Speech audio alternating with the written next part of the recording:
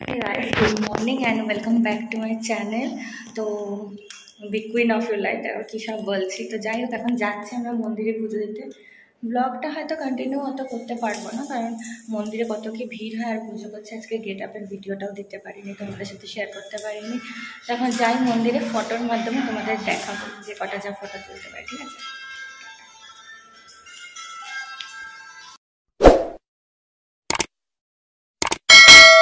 তো গাইস এখানে আমাদের পুজো হয়ে গেছিল, মায়ের পুজোর পর এখানে দেখতে পাচ্ছ ভোগ রান্না হচ্ছে। আমি আর একটা জায়গা মিস করে গেছিলাম, কারণ ফোনটা তখন আমার কাছে ছিল না। তো আফটার পুজো আমি মন্দিরে পুরো ভিডিওটা বানিয়েছি তোমাদের সাথে শেয়ার করার জন্য, শুধু একমাত্র তোমাদের জন্য। আর মায়ের ভিডিও তো করা অসম্ভব, তাহলে আমি নিজে দর্শন করতে পারতাম না। তো বাইরে বেরিয়ে দেখতে পাচ্ছ তারাপীঠ মন্দিরটা এরকমই দেখতে। হয় যারা কোনো দিন যাওনি তাদের জন্য স্পেশালি এই ব্লগটা কারণ যারা গেছো তারা তো অলরেডি দেখেইছো তারাপীঠ মন্দির কেমন হয়, কিরম কি। আর ভিড় তো দেখতে পাচ্ছ, অসম্ভব ভিড় আর মোবাইলের অ্যাঙ্গেলও চেঞ্জ হচ্ছে থেকে থেকেই। তো এখানে দেখো, পুজো হয়ে গিয়ে টিকাও হয়ে গেছে, আমরা এখন এসছি, দোকানে দাঁড়িয়ে আছি। আর এখানে আমি ফটোর মাধ্যমে দেখাতে চাইছি, এই হচ্ছে গিয়ে মেন মন্দির যেটা হোয়াইট বিল্ডিং এখানে ভোগ রান্না হচ্ছে মায়ের প্রসাদ। আর এটা হচ্ছে ফ্রন্ট একদম সামনে মায়ের একদম দর্শন করার জায়গাটা। আর এখানে আমরা ডালা নিয়ে লাইনে ছিলাম, তো এটা আমার দাদা হয়, দাদাকে তো অবশ্যই চেনো। তারপরে আমি আমার শাশুড়ি মা দুজনে ফটো তুলেছি একসাথে। আর এই হলো আমার মা। মাকে তো বিশেষ করে তোমরা চিনবেই, সব ব্লগেই দেখতে পাও। আর এখানে লাইন দিয়ে পুরো ফুল ফ্যামিলি আমরা ফটো তুলেছি। শুধু পতিদেব বাদ চলে গেছে। তো এখানে আমরা হোটেল ছাড়ার আগে রিসিপশানে এখানে আমরা কিছু কিছু ফটো ক্লিকস করেছি এবং হাজব্যান্ডের সাথে লাস্ট মুহূর্তে ঘরে এসে যখন আমি চেঞ্জ করলাম তখন কয়েকটা ফটো তুলেছি। তো একটা দুটো শেয়ার করলাম তোমাদের সাথে হোটেলে।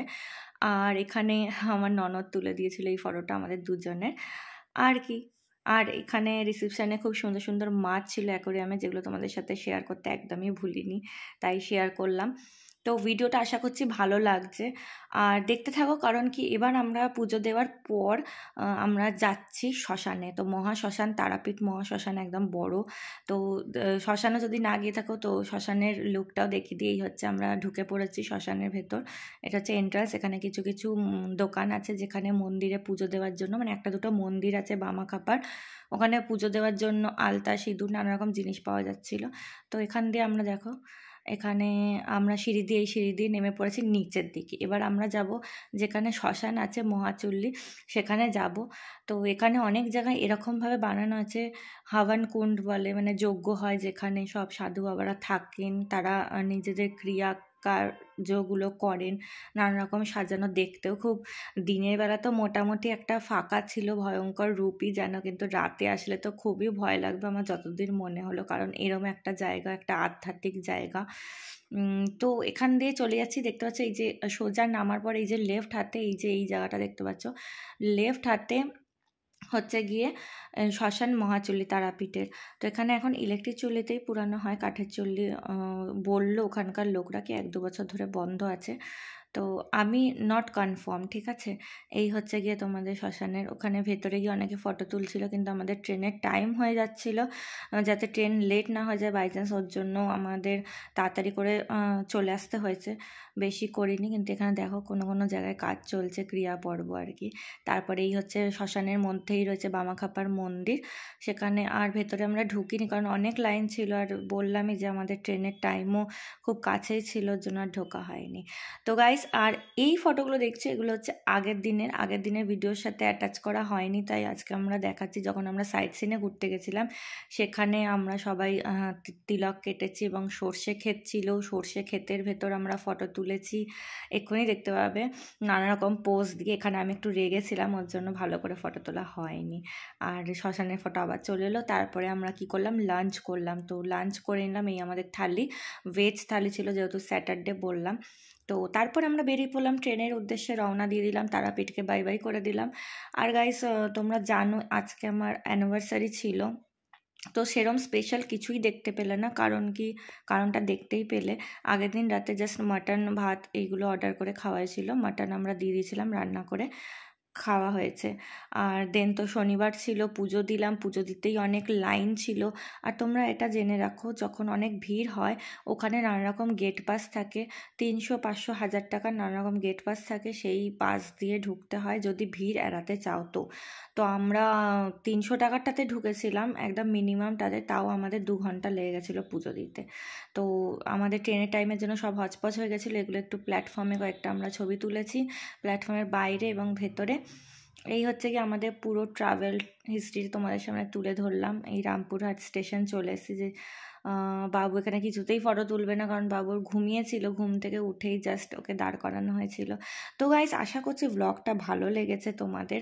ভালো লাগলে অবশ্যই ভিডিওটাকে লাইক করো আর চ্যানেল কিন্তু সাবস্ক্রাইব করতে ভুলো না। যারা নতুন সাবস্ক্রাইবার আছো মানে নতুন ভিউয়ার্স আছে, অবশ্যই সাবস্ক্রাইব করে দাও আমার চ্যানেলটাকে তো দেখতে থাকো, দেখতে দেখতে দেখো আমরা দক্ষিণেশ্বরও দেখে ফেললাম, কারণ বাড়ি আসার পথে আমাদের স্টেশনটা দক্ষিণেশ্বর স্টেশন দিয়েই ফেরত হচ্ছিল। তো দক্ষিণেশ্বর মায়ের দর্শন হয়ে গেল। মাকে তো নয় মন্দিরটা দর্শন করলে তোমরা।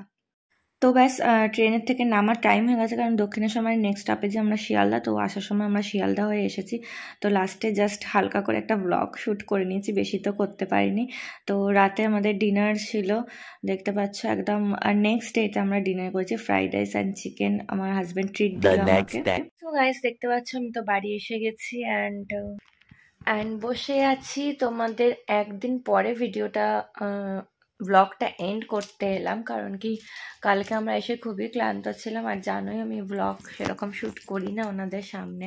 সো এখন ওনারা চলে গেছেন মানে নেক্সট ডেতেই চলে গেছেন। আর অ্যানিভার্সারিও এই বছর সেইভাবে পালন হয়নি। অ্যানিভার্সারিতে আমরা শুধু পুজো দিয়েছি মায়ের, আর সেদিনই ট্রেন ছিল। তো সারাদিনটা বলতে গেলে ট্রেনেই কেটে গেছে। প্লাস স্যাটারডে ছিল। আর আজ সানডে আজও কোনো সেরকম প্ল্যান ছিল না যে যার কাজে ব্যস্ত। আর সবাই এখন চলে যাওয়াতে আমি একা হয়ে গেছি, তাই একটু মনটা খারাপ। দেখতে পাচ্ছ হয়তো আমার চোখ মুখটা দেখে ভাবতে পারো। কারণ ভালো লাগছিল না, সবাই চলে গেছে, ও কাজে আছে আর শাশুড়ি ননদও চলে গেছে। আর মার বাড়িতেও এই ঘুরে এলাম, দেখলে এতগুলো ভিডিও, প্লাস তারাপীঠে গেছিলাম তো দেখা সাক্ষাৎ হয়ে গেছে। এখন আর কারোর সাথে দেখা সাক্ষাৎ নেই, যেহেতু ওনারাও চলে গেছে, তো ওনারা এক্ষুনি এক্ষুনি আর আসবেন না। আর মারাও সাথেও দেখা হবে না। মাদের সাথে ব্লগটাও ঠিক মতো আমি বানাতে পারিনি এবারে।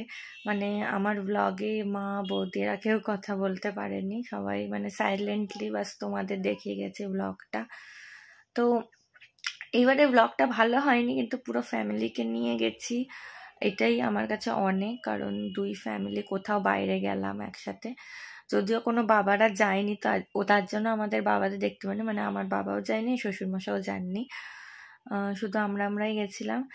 আর আর কি, তো তোমাদের কেমন লাগল জানিও এই বকওয়াস ব্লগটা এন্ড করতে করতে হয়তো ভালো লাগবে না, অনেকে স্কিপ করে গেছে এতক্ষণে।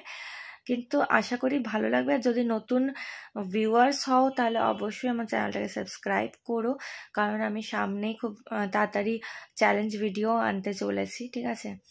তো দেখাচ্ছে চলো নেক্সট ভিডিওর সাথে আজকের জন্য এইটুকুই রইল। টাটা।